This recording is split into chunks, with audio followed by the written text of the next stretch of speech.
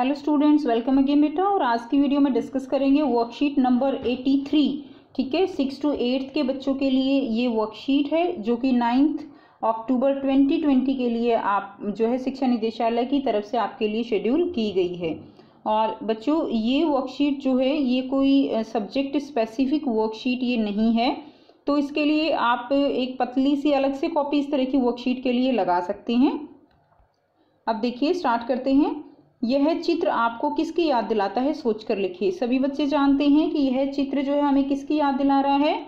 हमें हमारे स्कूल की याद दिलाता है। ठीक है? सभी बच्चे जानते हैं कोविड नाइन्टीन महामारी के कारण आप सब बच्चे स्कूल नहीं जा पा रहे हो और अपने स्कूल को सभी बच्चे मिस करते हैं, याद करते हैं। तो बच्चों, आपको यहाँ पर लिखना है, यह चित्र आपको किसकी याद दिलाता है? सोच कर लिखिए। तो आप लिखेंगे, यह चित्र हमें हमारे स्कूल की याद दिलाता है, स्कूल या विद्यालय। तो आप ऐसे लिखेंगे, स्कूल या विद्यालय की ये हमें याद दिलाता है। नेक्स्ट, आपके विद्यालय का पूरा नाम क्या है? लिखिए। तो बच्चों, आप अपने विद्यालय का पूरा नाम यहाँ पर लिखेंगे, सभी बच्चों को अपने विद्यालय का नाम लिखना आता है तो यहाँ पर आप अपने विद्यालय का नाम लिखेंगे, जो भी आपके विद्यालय का नाम है। नेक्स्ट देखिए, प्रश्न तीन, विद्यालय की कौन सी जगह आपको सबसे प्यारी लगती है और क्यों?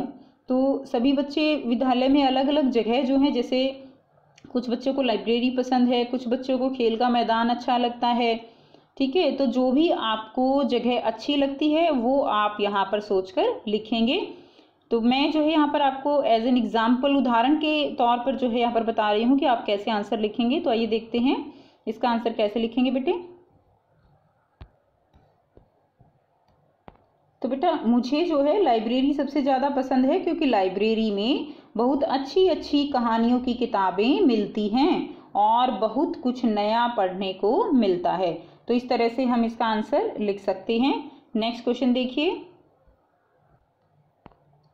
प्रश्न चार है, अगर कुछ दिनों के बाद आपका विद्यालय आपके लिए खुल जाए तो आप किन किन बातों का ध्यान विद्यालय में रखेंगे सोच कर लिखिए। तो बेटा, देखिए, जैसे कि कई बार न्यूज़ में आता है कि विद्यालय जो है वो शुरू होने वाले हैं, स्कूल आपके खुलने वाले हैं, ठीक है, कि कुछ ग्रुप्स में आपको बुलाया जाएगा। तो अगर ऐसा होता है तो आप किन किन बातों का ध्यान जो है वो रखेंगे विद्यालय में जाते हुए? तो सभी बच्चे जानते हैं कि जो महामारी फैली हुई है, उससे हम कैसे अपना बचाव कर सकते हैं? मास्क लगाकर कर सकते हैं, ठीक है? सैनिटाइज़र का उपयोग करके हाथों को धोकर सामाजिक दूरी बना के तो ये सारे तरीके हैं जिनसे हम अपना बचाव कर सकते हैं। तो आइए इसको देखेंगे। लिखोगे कैसे आप? सो बेटा, आप यहाँ पर ये जो है चार तरीके हैं जिनको आप जो जो है यहाँ पर लिखेंगे। पहला क्या है? मास्क पहनेंगे, ठीक है? उसके बाद एक दूसरे के साथ सामाजिक दूरी का ख्याल रखेंगे। हाथों को समय समय पर धोएँगे और एक दूसरे के साथ कोई भी वस्तु साझा नहीं करेंगे। तो ये चार तरीके हैं जिनसे आप जो है खुद का बचाव कर सकते हो। नेक्स्ट क्वेश्चन प्रश्न पाँच क्या है?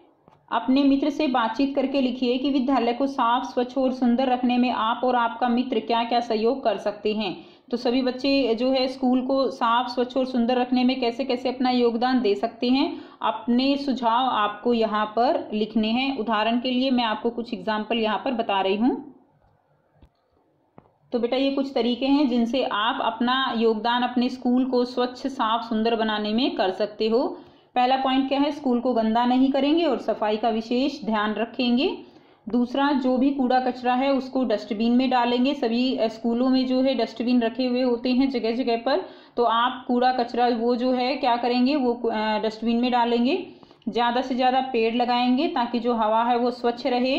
सुंदर सुंदर फूलों की क्यारियाँ बनाकर उनकी देखभाल करेंगे। फूलों को नहीं तोड़ेंगे। इस तरह स्कूल को साफ़ और सुंदर बनाने में मदद कर सकते हैं। तो ये थी बेटा आपकी आज की वर्कशीट काफ़ी इजी वर्कशीट है।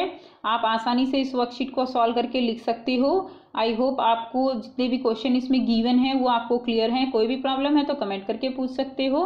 वीडियो अच्छी लगी तो लाइक शेयर ज़रूर कीजिए। चैनल को सब्सक्राइब करना ना भूलें।